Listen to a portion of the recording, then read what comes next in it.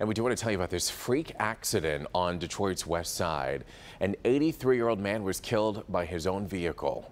Police say the man stopped to get gas and noticed that his car was still in gear when he went to pump.